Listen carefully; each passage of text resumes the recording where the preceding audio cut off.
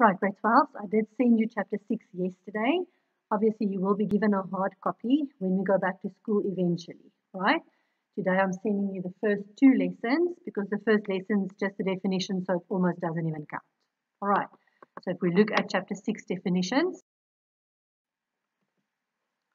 Okay, investment securities, this is the topic. Okay, so we're going to look at different types of investments you will see we're doing two chapters on investments. The first one, chapter 6, is on investment securities, and the second one is on, is on insurance. All right.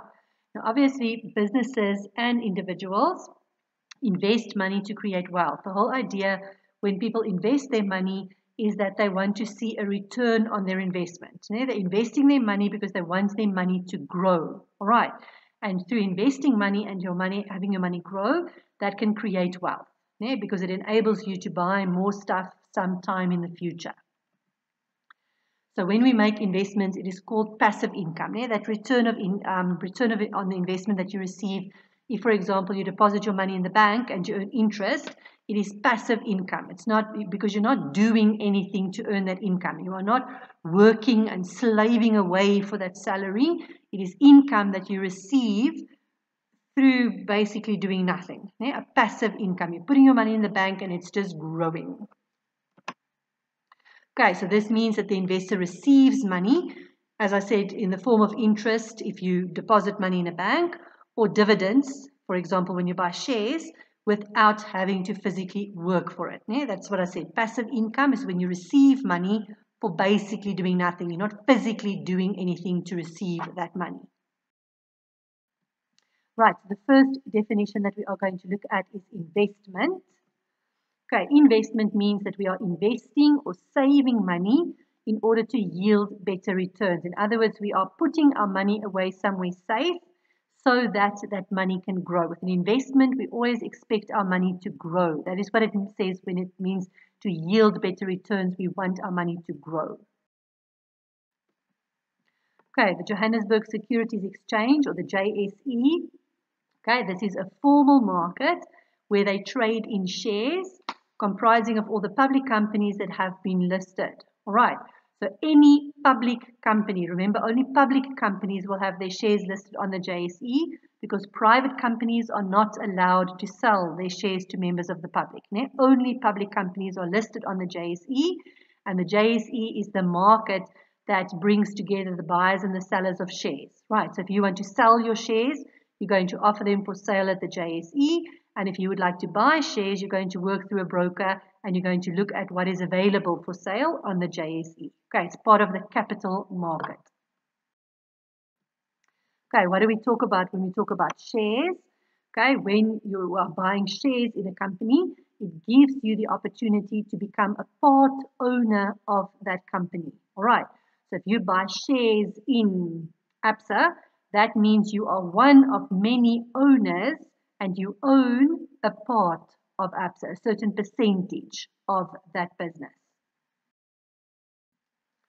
Right, I referred earlier to the capital market. I said JSE is part of the capital market. So what do we mean when we talk about capital market or securities market? It is the market for securities or shares where companies and the government can raise long-term funds. On the capital market, this is the place where long-term savings and borrowing is going to happen. All right. We also have a money market. The money market is for short-term funds. All right. So the minute that you see capital market, you are investing your money for a longer period of time. Okay, a short-term investment is when you make an investment for a period shorter than one year. All right. So in other words, if you put your money away, you invest your money, but you would like to withdraw your money within two days or 26 days or 32 days. If you invest your money for less than one year, then it is a short term investment.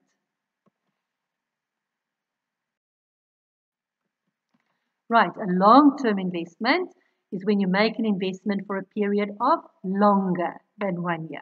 So if you put your money in the bank and you could make a fixed deposit, for example, for five years, you're investing your money and you're only going to withdraw the money after five years, then that will be a long-term investment.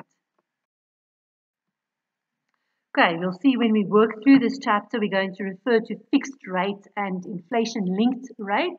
A fixed rate is when the rate of return stays the same for the period of time.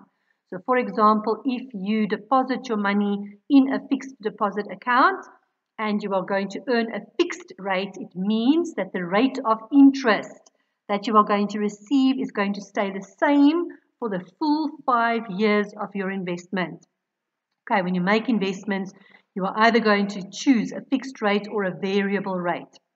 Okay, with a fixed rate, as I said, it means your interest rate is not going to change. If it's a variable rate, when the interest rates change, obviously your rate is going to change as well.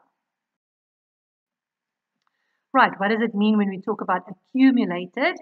When you earn interest, obviously over an investment period, if you earn interest in the first year and you earn interest in the second year and you earn interest in the third year, when you add all the interest that you have earned over the total investment period, we are going to talk about your accumulated interest. Okay, so it's all the interest that you have earned over the entire period of your investment. Okay, we're going to also in this chapter talk about simple interest and compound interest, and there's some calculations involved there. So when we talk about simple interest, simple interest is calculated on the principal amount that you have invested. Okay, so every single year, if you have invested 5,000 Rand in year one, you're going to earn your 10% interest on that 5,000 Rand.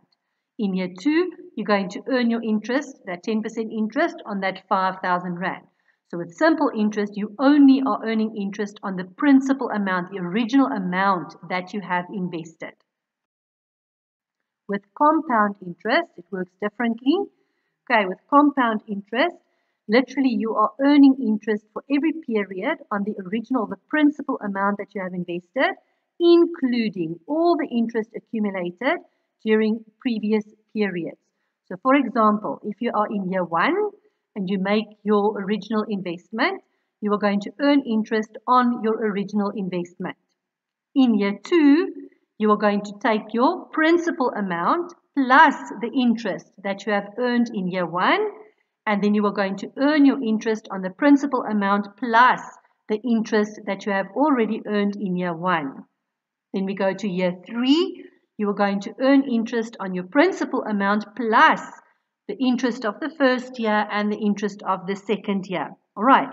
So every new period, every new year that your investment stays in for, you are going to earn interest on the interest of the previous years. Okay? Compound interest gives you a higher accumulated interest at the end of your investment period because you are not just earning interest on the principal amount, you are also earning interest on top of your interest. Right, what do we talk about when we talk about risk? Obviously, risk is one of the things that we're going to take into account when we decide how we want to invest our money. Risk refers to the chance that your invested amount may reduce in value or that you can lose your total amount invested due to unforeseen circumstances. All right. So the risk that you are taking, obviously, if you make an investment, we said that we want your investment to grow, but there's always a risk that your investment is not going to grow, the value of your money is actually going to decrease. Or you make an investment and you lose your entire investment. Yeah, that is the risk that you are taking. All right, if we just look at the definition of investment, yeah, what is an investment? Investment means that when we use our money to create future income. Okay, as I said, we make an investment because we want our investment to grow. We want that money to become more. All right, so we make an investment because we are going to receive a return on that investment. We're going to earn income from the investment that we made.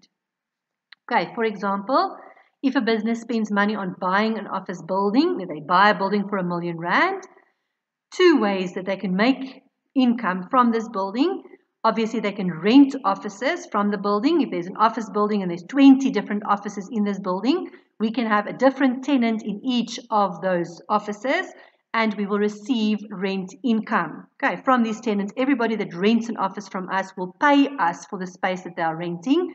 So the building that we have bought is the investment. The rent that we receive is the income that our investment is giving us. Right, so money was spent to buy the offices, but at the same time, we are also going to earn money if we rent out these offices. We make an investment and in return we earn income.